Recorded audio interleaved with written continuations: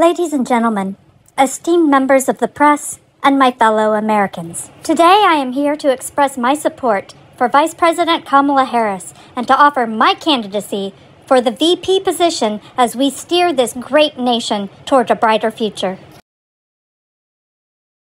We live in a time where the voices of the many are often overshadowed by the interests of the few but I will champion policies that prioritize opportunity for all. Now let's address the elephant and the cat in the room. Why, with all the exceptional candidates, why choose a cat?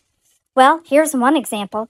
The opposing party's VP pick, J.D. Vance, has a history of making derogatory remarks about women with cats. So who better than a cat to set him straight?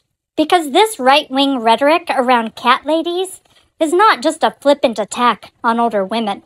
It's an attack on the very freedom to live our lives as we choose. It's an attempt to shame younger women into sexual relationships that diminish their dignity.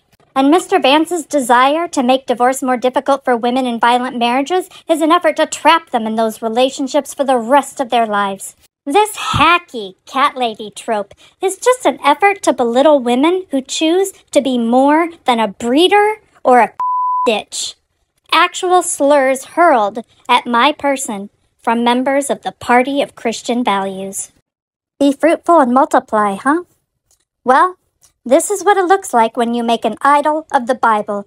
Yes, even the Bible can be the object of idolatry, and no one commits spiritual adultery with more conviction and gusto than the evangelical right wing, because they see the letters but not the words.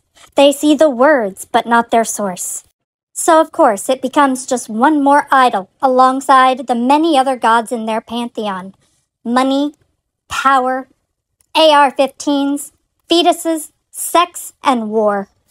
They don't want to return us to some supposed simpler time in the past. They want a whole new America in which every woman is a servant, with no lip service even given to notions of respect or dignity. It's a new, ugly, overpopulated, and impoverished world that they seek for us.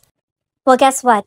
We don't have to forfeit our country to whatever this new entity is. In fact, we won't. And so to J.D. Vance and his ilk, I say this Mr. Vance, Women are so much bigger than your tiny, tiny thoughts could ever contain. We will not be silenced. We will not be shamed. We are here to fight and we don't tire easily. We will not let small men get in the way of an inclusive and truly just America. We are here to build a society greater than your fragility and more potent than your feeble masculinity. The future is bright, my friends. And with your support, I will mop the floor with J.D. Vance. And Kamala Harris and I will lead this nation into a new era of progress, unity, and hope. Now let's make history together. Who's with me?